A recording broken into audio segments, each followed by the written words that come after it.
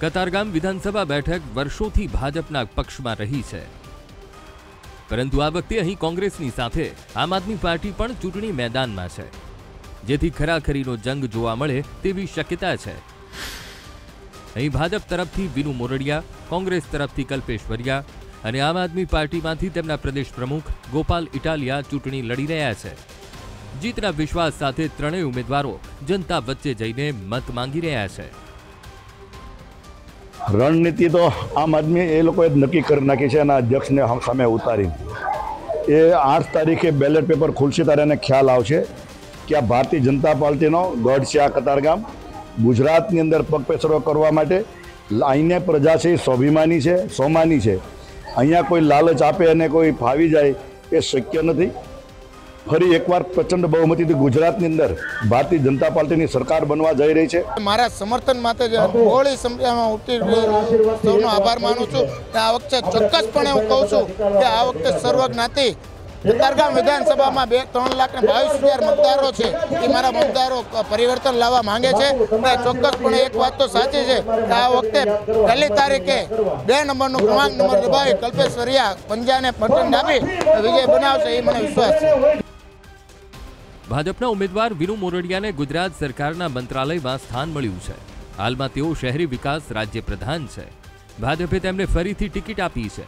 તો કોંગ્રેસના ઉમેદવાર કલ્પેશ વરિયા પ્રજાપતિ સમાજમાંથી આવે છે. કલ્પેશ વરિયાનું કહેવું છે કે પ્રજાપતિ સમાજનું મજબૂત સમર્થન તેમને મળશે જ્યારે વિનુ મોરડિયા જણાવી રહ્યા છે કે કયા કયા મુદ્દા લઈને તેઓ જનતા વચ્ચે જશે. વિકાસ અને સલામતી જે પ્રકારે લોકોએ એને, એનો અહેસાસ કર્યો છે, એ કરેલા કામના આધાર ઉપર વોટ માગવા લોકોના આશીર્વાદ લેવા અમે જઈ રહ્યા છીએ.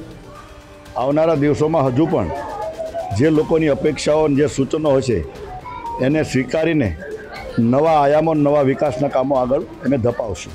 આ વખતે જે પ્રજાપતિ સમાજમાં એકતા બતાવી રહ્યા છે, એ પ્રજાપતિ સમાજની એકતા બહુ સારી છે. હું આ વખતે સમાજનો પણ હું ગૌરવ માંગુ છું અને સર્વ સમાજને પણ હું એક એક એકતાનો એક સંદેશ પાઠવવા માંગુ છું કે હું આ વખતે આવીશ તો શાંતિ રહીને તમારી વચ્ચે રહીને કામ કરવા માંગુ છું.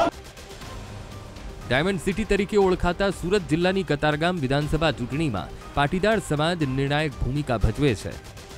ભાજપ અને આમ આદમી બંનેએ પાટીદાર સમુદાયમાંથી પોતાના ઉમેદવારો ઊભા રાખ્યા છે.